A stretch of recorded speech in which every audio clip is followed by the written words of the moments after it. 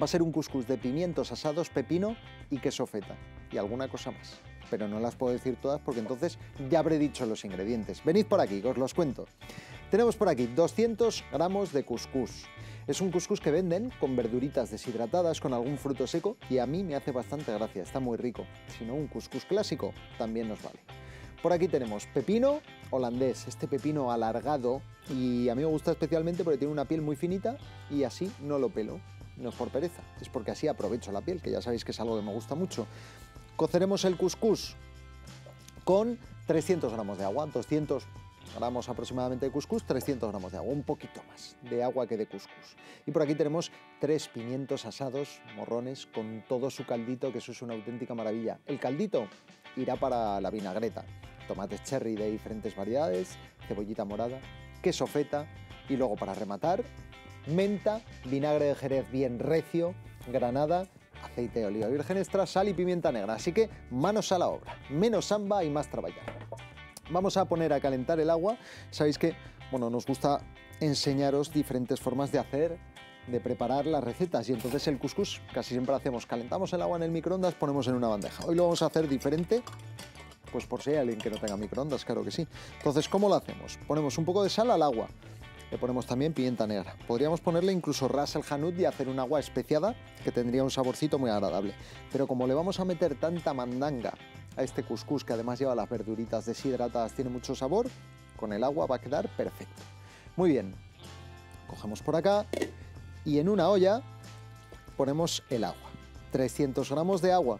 Seguid las instrucciones del fabricante, del cuscusero, que es así como se llama, y no sé.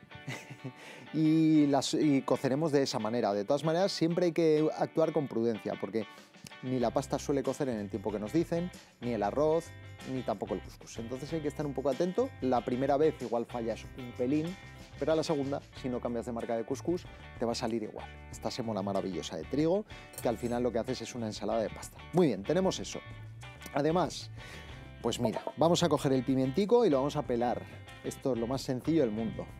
Vamos a pelarlo los hemos asado a 220 grados durante una hora. Cuando veamos que la piel se empieza a torrar, sacamos del horno, tapamos con papel de aluminio y así se hace una especie de vaporcito del propio pimiento que hace que luego el pimiento se pele así de fácil, porque se ahueca la piel y se despega de la carne. También es cierto que hay algunos pimientos que ni aún así, pero estos ha habido suerte. Lo hacemos con la mano sin ponernos dengosos o niquitosos, que es un sinónimo. Mira, la palabra niquitoso, que está aprobada por la RAE, por cierto, me he quedado más tranquilo, pues bueno, significa una persona eh, muy minuciosa o muy escrupulosa, con mucha delicadeza a la hora de realizar algunas tareas, muy exagerada en su, pues eso, en su forma de hacer las cosas. Entonces, niquitoso, claro, que no puede tocar esto. Una persona niquitosa igual no podía tocar esto, o igual lo podía hacer, pero luego ve una pepita y la aparta. No seas niquitoso, ni niquitosa. Disfruta de la vida. Mánchate las manos y comete las pepitas del pimiento, que por una no te va a pasar nada. Picamos esto bien fino, como si fuese caviar. Aquí tenemos el caviar de pimiento, que es así como se llama el pimiento asado o a la berenjena también, cuando lo picas con el cuchillo, pues a conciencia y se quedan como pequeñas pelotitas de caviar vegetal. Y aquí el jugo que es donde vamos a hacer la vinagreta, el jugo de los pimientos asados, ¿vale? Para no desaprovechar ni un ápice de ese sabor. Entonces ahora, ya nos hierve el agua con la sal y con la pimienta, apagamos el fuego, perfecto, echamos el couscous, esa sémola de trigo, que lleve o no lleve verduritas deshidratadas, frutos secos, especias o lo que sea, pues es pasta, básicamente, y con ella, ¿qué vamos a hacer? Pues una especie de ensalada de pasta. Meneamos un poquito para que no haya cuscús que no toque líquido y ahora se trata de cerrarlo herméticamente para que esto cueza al vapor. Entonces ponemos la tapa, dejamos ahí tranquilamente, ¿cuánto? Cuatro minutitos nos dice el fabricante y en este caso ya lo tengo comprobado que son suficientes cuatro minutitos. Así que ahí lo dejamos cuatro minutos, fuego apagado, muy importante. Seguimos con nuestro trabajo de cuchillico. Mira, vamos a hacer la vinagreta. Vamos a coger unos brotes de menta, bueno, brotes, estos son las hojicas más grandes, los brotes los guardo para, terminar los platicos, para poner por encima, pero cuando quiero picar, lo que hago es coger las hojas más grandes. Podéis usar menta o hierbabuena. A mí la verdad es que digo menta por defecto y debería corregir eso porque es hierbabuena lo que uso muchas veces. ¿Por qué? Porque la hierbabuena es más aromática y menos picante, entonces me gusta un poquito más. Pero vamos, que si no hubiese hierbabuena, por la menta me Picamos en juliana muy finita, perfecto, y una vez que tienes la juliana, vuelves a dar una pasada, pero no hay que picar demasiado porque se pierde todo el aroma de, la hierba. Las hierbas, si se puede, hay que picarlas lo mínimo posible y en este caso no molestan en absoluto, así que para adelante. Y ponemos en nuestro jugo de pimiento, en el botecito que vamos a usar como emulsionador de las vinagretas. Una vez que tenemos eso, un vinagre oh, recio, recio, y ponemos una parte de vinagre, ponemos también aquí un buen pellizco de sal y aceite de oliva virgen extra. Y tenemos una vinagreta de hierbabuena espectacular. Ponemos doble de aceite que de vinagre, pero no más. Cerramos y emulsionamos. Y justo antes de usar, que esto es lo maravilloso de estos botes, le puedes dar otro meneito. O sea que si se ha desemulsionado, lo volvemos a emulsionar y el emulsionador que lo emulsione, buen desemulsionador será. Me he tirado a la piscina. Podía haber salido mal, pero he salido airoso. Bien, tenemos el pepino holandés. Me refiero a este, que ya os veo. Tenemos aquí el pepino holandés, vamos a lavarlo y a secarlo muy bien. Y ahora lo que hacemos, este pepino me mola mucho porque, porque se come con piel. El otro también me lo como con piel, pero hay mucha gente que no le gusta, ¿vale? Que, que, es demasiada recia la piel y yo lo entiendo. Yo es que soy un poco zoquete. Entonces, para un comensal no lo pondría, pero yo me lo como con piel. Este sí que es para todos los públicos. Tiene una piel lisa y muy fina. No es rugosa como la del pepino por cierto, este pepino se llama holandés la variedad, pero está cultivado en España, así que no he traído pepino de Holanda, cosa que me costaría un sacrilegio, un sacrificio, sabiendo que tenemos aquí unos pepinos impresionantes. España tierra de pepinos. Bueno, por aquí cogemos y picamos en daditos y ya tenemos el pepino. ¿Le queréis quitar las pepitas? ¿Sois muy niquitosos con el tema de las pepitas? Madre mía, si sois niquitosos. Pues se las quitáis. ¿Cómo lo hacemos? Mira, vamos a quitarle a un viaje. Cogemos por acá, cortamos por la mitad y pasáis por aquí. ¿Qué objetivo tiene quitar las pepitas? Pues muy sencillo. Vais a eliminar mucha agua de la receta y si el pepino te sienta mal porque te repite, en las pepitas está el problema, o gran parte de él. Así que con esto ahorras mucha repetición de pepino. Venga, vamos a picarlo todo en daditos, los cherries, la cebolleta y el contador está. Me imagino que arriba me avisarán porque yo ya he perdido el oremus.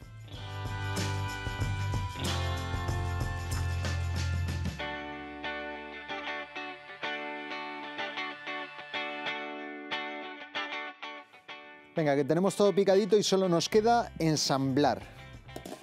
Así que vamos a ello. El cuscús está cocido, destapamos y le ponemos un poquito de aceite de oliva virgen extra para lubricar. Aquí la función que cumple el aceite, aparte del saborcito que nunca está de más, es lubricar. Y con un tenedor, cuidando porque la cazuela es de teflón y no queremos dañarla, vamos rascando un poquito y soltando este grano maravilloso. Decía que es un cuscús templado y es una cosa que me ha dado últimamente y que mola mucho, que es las ensaladas de pasta, y esto no deja de ser una cosa parecida, las mezclo en caliente, no refresco la pasta, dejo que se enfríe ligeramente, pero no las pongo de la nevera. Y lo que sí que pongo de la nevera o fresquito son los vegetales. Y ese contraste de la pasta caliente con los vegetales fresquitos os aseguro que es una pasada. Y encima gana mucho en sabor, porque la pasta caliente tiene bastante sabor y porque además ese calorcito hace que los vegetales suelten también más su sabor. Aquí me quedo, como si fuese esto un jardín zen, removiendo un momentito, para convertir este cuscús en un cuscús de pimiento rojo asado. Vaya colorazo que le está dando. Buah, maravilloso. Lo tenemos listo, así bien entremezclado todo y nos vamos a la bandeja donde vamos a servir. Vamos a ponerlo todo bien cupo, ya veréis qué chulo. Cogemos por acá, y volcamos nuestro cuscús de pimientos asados. De momento es solo de pimientos asados. Una combinación maravillosa. Y ojo, os digo una cosa, así ya estaría tremendo. Pero yo he hecho en falta vegetales frescos. Cuando hay un guisote para comer hay que esforzarse, obligarse y cuando no también. A ver, si tienes ensalada para comer, ya sea por hecho. Lo que quiero decir es que en la dieta hay que introducir vegetales frescos every day, todos los días. Al centro de la mesa no cuesta nada. Pela dos zanahorias, pela un pepino, Si no te apetece currártelo, pues una ensalada en un plato, pues haz eso. Simplemente pela unos cuantos vegetales, los pones al centro y pones algún untable, si quieres, y ya está. O simplemente así, para ir picando antes de la comida o durante. Y vas a tener pues, el aporte de vitaminas que le hace falta al cuerpo. Importante esto que estoy diciendo, ¿eh? de verdad es una costumbre maravillosa que va a mejorar mucho vuestro estado de salud, sin duda alguna. Ponemos tomatitos cherry, la cebolla morada, todo esto lo hemos cortado bien finito y en diferentes formas. Ahora cogemos por acá la granada, tierra soñada por mí. Le vamos a poner unos granicos de granada roja, roja. Mira, mira qué barbaridad. Y qué de zumera que está sacando. Se está manchando la bandeja, pero no me importa porque tengo torta. Además, cogemos el queso feta y desmigamos por todo. Ahí lo tenemos. Muy bien, abundante queso feta, que cuando se combina con otros ingredientes, la verdad es que da un chute de sabor tremendo. Y ya por último nos queda la vinagreta. Vamos a emulsionar por última vez y vamos a poner encima. No hace falta mucha, no pasa nada si sobra.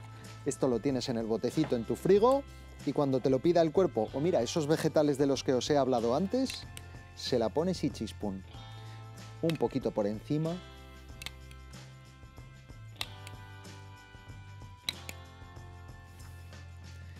Y lo tenemos listo.